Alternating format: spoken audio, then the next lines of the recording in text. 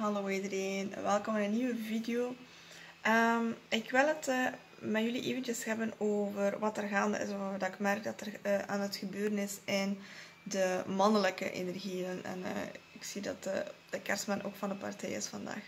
En gisteren waarschijnlijk ook, dacht ik. Nu, um, de reden waarom dat ik het deel is omdat ik al gisteren en vandaag via verschillende klanten, via verschillende personen ook in mezelf, ook in mijn eigen connectie merk dat er weer heel veel dingen aan het verschuiven zijn. Ook al zijn we nog niet 2022, maar de mannelijke energie vooral is, en, ook de vrouwelijke energie, is al bezig met het integreren en het verschuiven in die, uh, hetgene waar we eigenlijk volgend jaar nog veel meer gaan, zien. Um, en dat is hetgeen wat ik uh, met jullie wou delen. Dus dit gaat geen hele lange video worden. Maar ik wou het toch met jullie delen. Zodat je begrijpt en weet wat er eigenlijk gaande is. Um, dus wat is, uh, wat is er gaande? De, de mannelijke energieën. En dus uh, je kan het zowel bekijken hoe voor jezelf. in, in jezelf natuurlijk. Maar ook in connecties.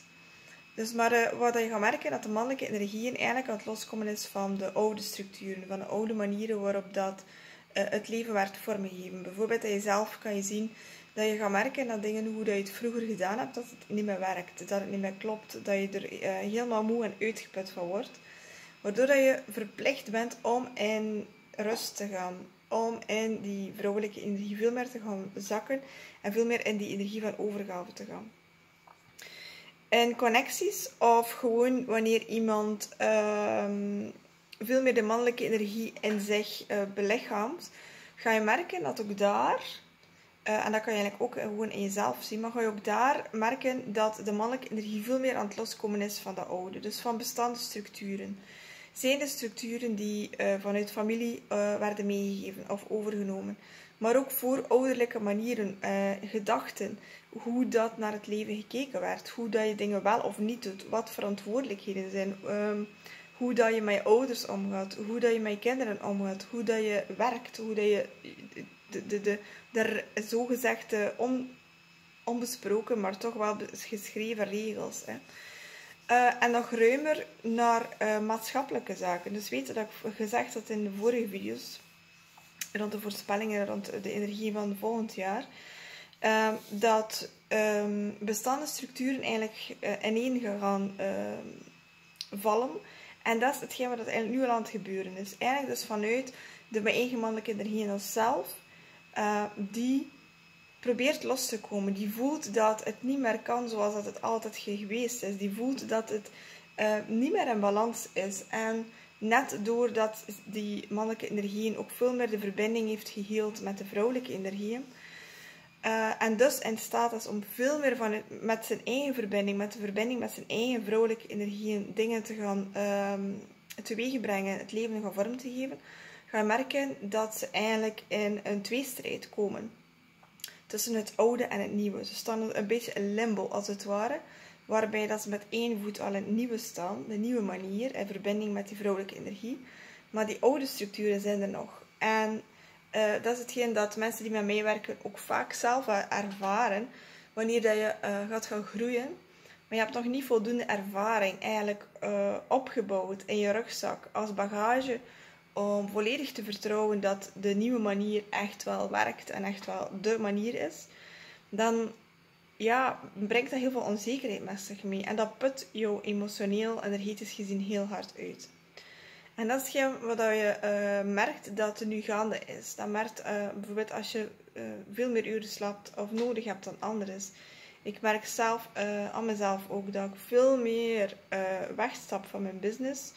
Veel meer in die flow en in die um, intuïtieve vibe ga. In het ontvangen, in het luisteren, in het uh, bekijken en het gewoon zijn. En het zelfs gewoon niks doen in meditatie.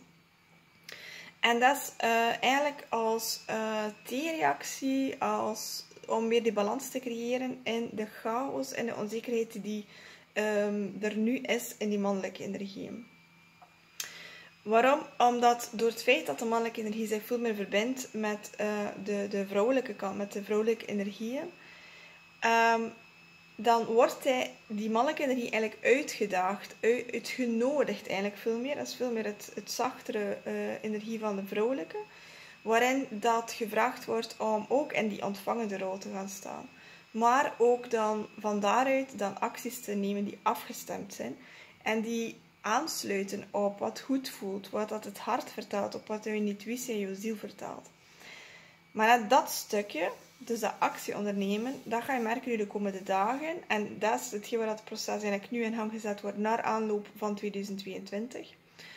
Dat het nog iets lastiger is om weg te stappen van die verwachtingen, van opgelegde verantwoordelijkheden, van oude overtuigingen, van al die voorouderlijke erfenissen dat we uh, meegekregen hebben, ook al hebben we daar niet om gevraagd. Maar ook rond alle dingen van hoe dat de maatschappij vindt en zegt dat dingen moeten gebeuren. Ehm, en dat zijn de dingen waar dat, wanneer dat je het nodige werk gedaan hebt in het laatste jaar, dit jaar, dan ga je merken dat nu meer en meer naar boven gaan komen. En dat proces is eigenlijk nu al begonnen, is nu al bezig.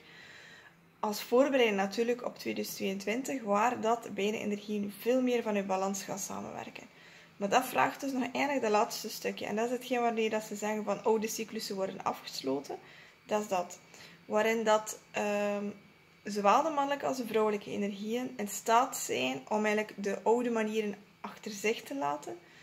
En uh, het gewoon te gaan doen. Gewoon gaan in balans gaan samenwerken. Ben jij in een connectie nu veel meer die vrouwelijke energie, dan ga je merken dat je uh, gedaagd wordt, gevraagd wordt om in die ontvangende, in die puur zuivere vrouwelijke energie te gaan stappen. En dingen echt nog meer in die overgave te gaan stappen. Nog veel meer dan dat we ooit heel het jaar al hebben moeten en mogen doen. Mogen leren eigenlijk. En dan wordt gevraagd om dat nu nog meer te gaan doen. Uh, focus op jezelf. Focus leggen op je eigen pad. Focus leggen op uh, de dingen dat jij te healen hebt. De dingen dat jij aan te kijken hebt. De dingen dat jij hebt mee te delen in jouw missie naar anderen dan weer toe.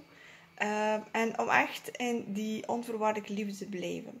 Ongeacht wat er gebeurt, ongeacht wie dat er aan jou trekt, uh, ongeacht uh, welke chaos dat er ontstaat om je heen, naarmate dat die mannelijke,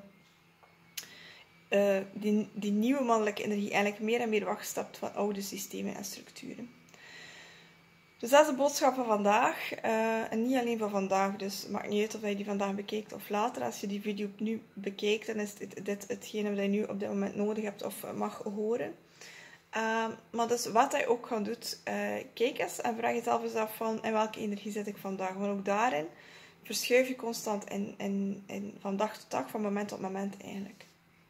En daarom is het belangrijk om gewoon mee te gaan in die flow om echt in die overgave te stappen. En te vertrouwen dat de dingen die gebeuren, ook als niet volgens wat je gepland hebt of zoals wat je zou willen, uh, of wat je denkt en nodig hebt, maar ook vertrouwen dat ook daar weer de nodige lessen aan verbonden zijn, de nodige groei mee verbonden is. En dat het alleen maar jou, jouw connectie, jouw omgeving en ook jouw dromen en je wensen te goede zal komen. Dus dat ze eigenlijk nog beter zullen zijn dan jij, um, wanneer je het nu allemaal zou forceren en, en dingen zo uh, de controle gaan nemen. Want dat is hetgeen wat vaak gebeurt. Zeker als vrouwelijke energie uh, hebben, we, hebben we hele tijd en heel lang geleerd om vanuit onze vervormde mannelijke energie, vanuit ons wantrouwen naar mannelijke energie, om het zelf te gaan doen.